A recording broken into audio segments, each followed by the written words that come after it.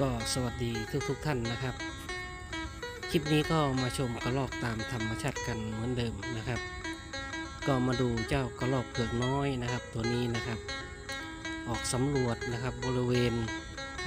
รอบๆนะครับรอบๆตรงหลังของเขานะครับ ก็มาดูความสุขสนนะครับ ความอยากรู้นะครับ ความอยากเห็นของ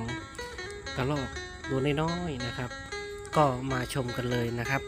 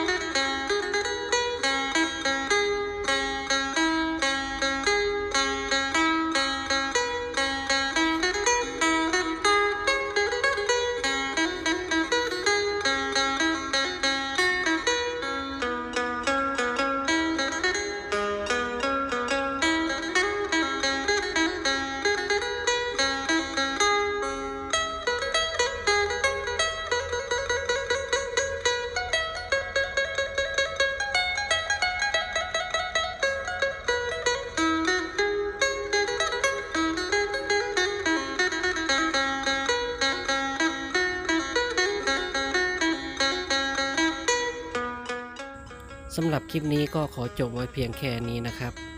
ก็เอาไว้เจอกันอีพีหน้านะครับ ขอบคุณทุกท่านที่เข้ามารับชมให้กำลังใจนะครับสำหรับคลิปนี้ก็สวัสดีนะครับ